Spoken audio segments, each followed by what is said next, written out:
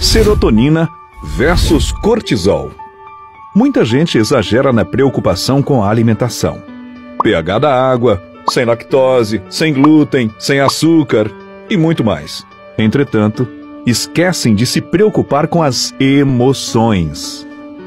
O Dr. Juan Itzig estudou as características de alguns longevos, aquele pessoal que vive bastante, principalmente os saudáveis, e concluiu que além das características biológicas, o denominador comum entre todos eles está em suas condutas e atitudes.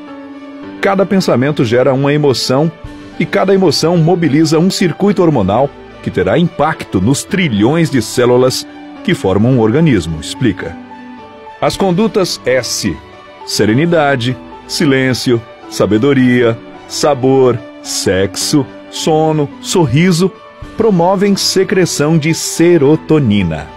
Enquanto as condutas R, ressentimento, raiva, rancor, repressão, resistências, facilitam a secreção de cortisol, um hormônio corrosivo para as células que acelera o envelhecimento.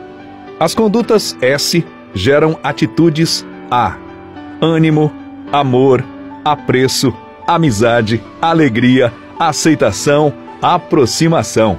As condutas R, pelo contrário, geram atitudes D: depressão, dor, despeito, desânimo, desespero, desolação. Eu sou Roberto Barreto, locutor, e cheguei à mesma conclusão que você. Aprendendo esse alfabeto emocional, vamos viver mais tempo e melhor porque o sangue ruim, muito cortisol e pouca serotonina deteriora a saúde, oportuniza as doenças e acelera o envelhecimento. O bom humor, pelo contrário, é a chave para viver muitos anos de forma saudável. Então desejo que você que está me ouvindo tenha uma excelente vida, plena de serotonina. E não se esqueça, isso vale a pena compartilhar.